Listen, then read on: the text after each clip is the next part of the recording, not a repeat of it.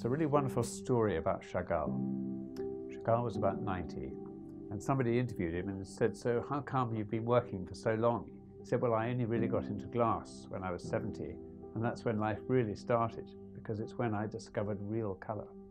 So, there's something very different about it. It's a very powerful art form. When you're in a space, it, it completely takes over the space. I think it's a very, very exciting field. That's just where I, and immediately I came into it, it immediately captured my imagination. I was very lucky that way.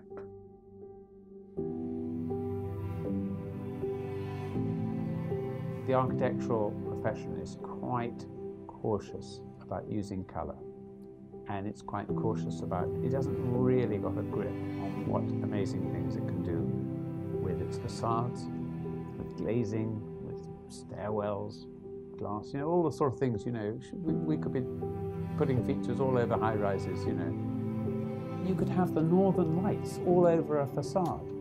Could look absolutely stunning. So there's, there's just, the possibilities are so enormous and they have benefits of solar gain, reduction of glare, and just making suddenly a transforming these two-dimensional flat surfaces into something that's uh, three-dimensional and alive. And, uh, as a way of branding. I mean, from a commercial point of view, if you're a property developer and you want to make your building something really special,